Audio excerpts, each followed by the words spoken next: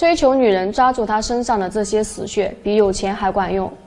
最近接到好几个倾诉案例，很多男生都比较消极，抱怨现在没钱真的很难追女孩。可是说实在的，是骂君我追求女生很少利用金钱攻势，但是成功率也很高。钱的确很重要，但是在追求女人的时候绝对不是万能。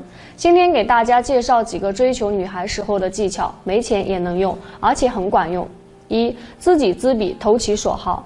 许多来找我咨询的兄弟，我第一句话就是：“你了解你所追求的女孩性格和喜好吗？”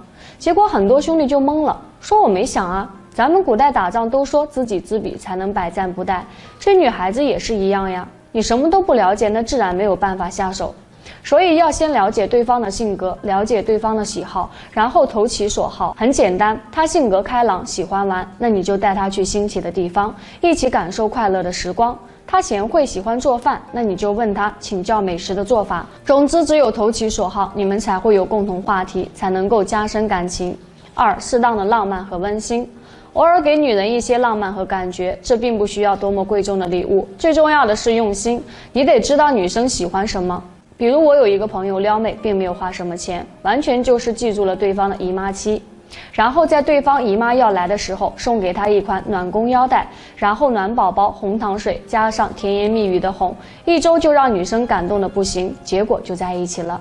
前前后后也就几百块钱，关键是让女生感觉到了浪漫和温馨。为什么浪漫对女生这么有用？因为浪漫在女生眼里是男人对自己的用心。啊，甜言蜜语，他永远不会腻。经常说一些甜言蜜语，女生永远都不会觉得腻，因为女生很感性。即使你说的不是事实，她们也不会考虑，只会觉得听得开心就够了。而最好的情话，并不是直接夸奖她，相反是欲扬先抑，要夸奖之前先打击一下。比如这样对女生说：“我觉得你最近好像胖了。”女生一般都会很尴尬，有的会否认，而你后面说：“如果不是这样，那为什么你在我心里越来越重了呢？”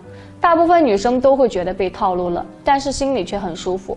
如果不是套路的夸奖，那也一定要夸奖的很仔细。比如说，你这条裙子真好看，就比你真好看要好得多。